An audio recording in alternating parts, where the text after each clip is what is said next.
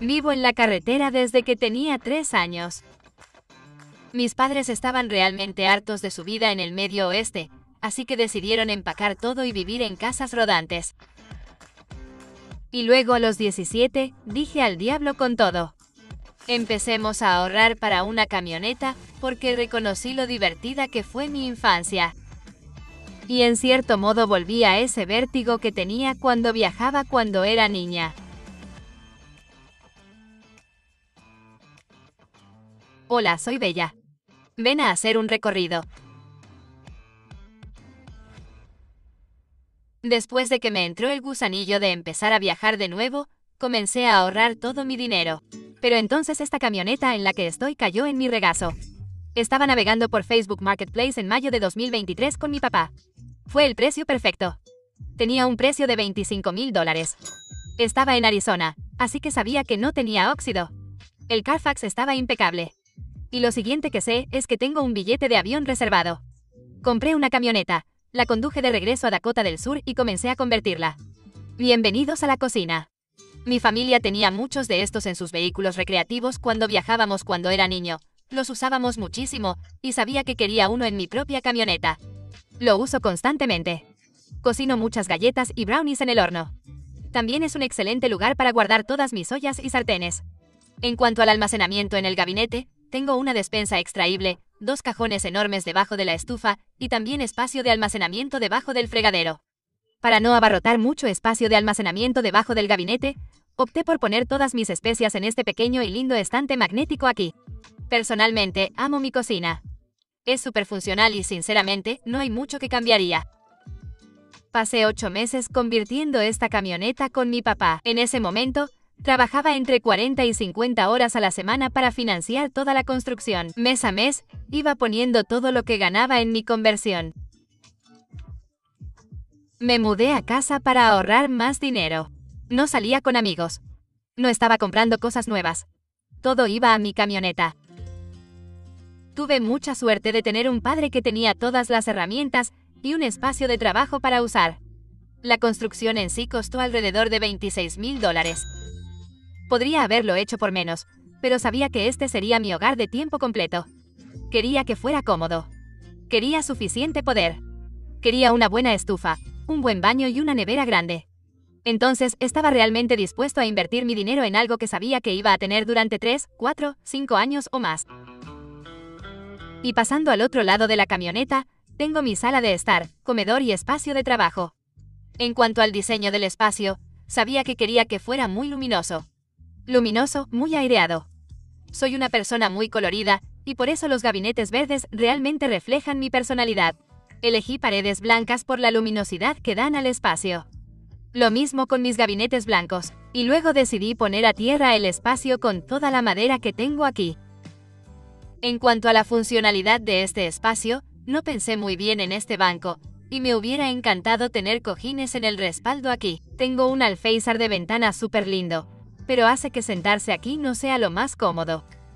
Para mi sala de estar, Quería crear un espacio muy dinámico donde pudiera recibir gente, pero también estar cómodo solo, así que puedo sentar cómodamente a tres personas aquí para cenar. Esto también funciona como espacio de trabajo porque soy administrador de redes sociales independiente y gran parte de mi trabajo se realiza en mi computadora. Es muy importante tener una mesa flexible para poder trabajar donde quiera. En cuanto al almacenaje en este espacio, tengo un cajón para mi aseo. También tengo dos cajones grandes debajo de este banco. Para la comida, tengo dos gabinetes superiores grandes y algunos espacios para libros porque obviamente es una necesidad. Y luego tengo mi especie de estantes para artículos de tocador aquí que contienen todo mi lavado de gara, suplementos, maquillaje, todo eso. También tengo mi frigorífico Dometic de 110L, que me encanta. Aquí podría caber comida para dos o tres semanas, lo cual es increíble si quieres desconectarte de la red además de un precioso cajón para basura que toda furgoneta necesita. Hacia adelante. Bienvenidos a mi dormitorio. Definitivamente opté por la comodidad en mi espacio. Tengo un colchón de tamaño completo de 8 pulgadas con un cubrecolchón, por lo que ella está cómoda.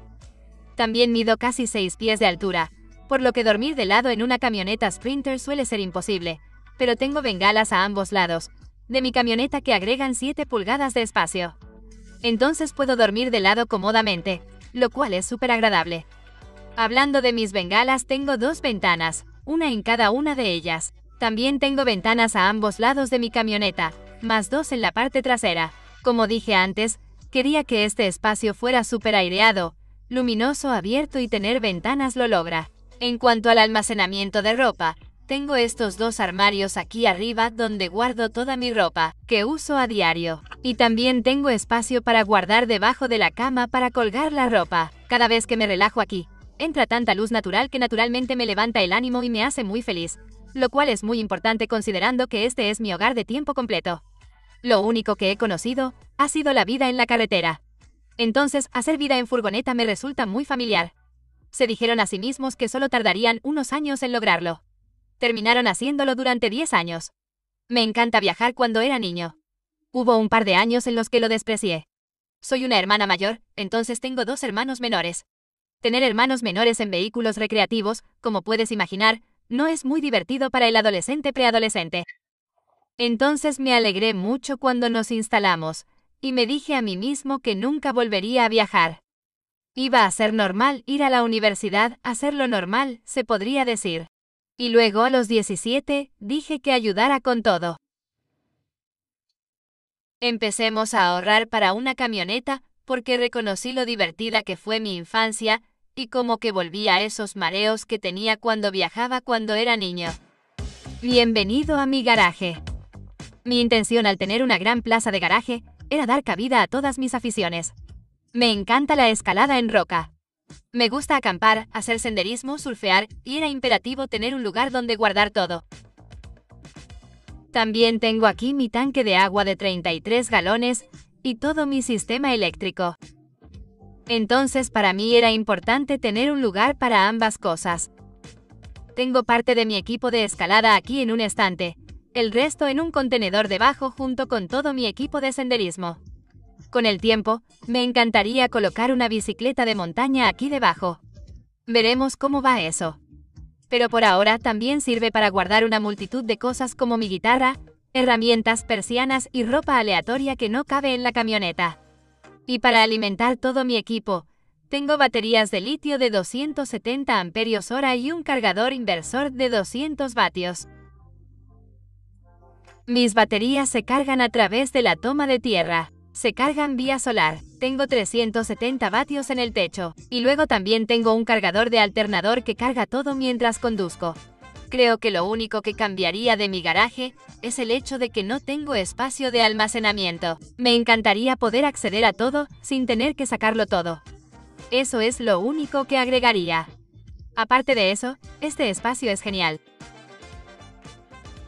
Mi mayor consejo para las personas que quieren vivir en la carretera, ser nómadas, es que realmente no existe un momento perfecto para hacer nada.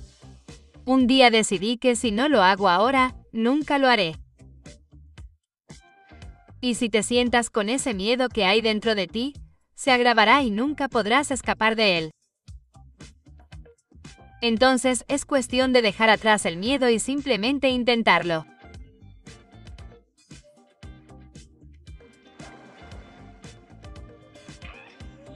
Podrías ir de acampada en tu coche. Podrías acampar en tu camino de entrada. Nunca sabes, podría ser buscar diferentes oportunidades laborales. Simplemente da el siguiente paso y sal de ese miedo. Eso está dentro de ti, porque eso es lo que mata los sueños. Si quieres seguir mi viaje, estoy en YouTube, Instagram, TikTok y todas las plataformas sociales en arroba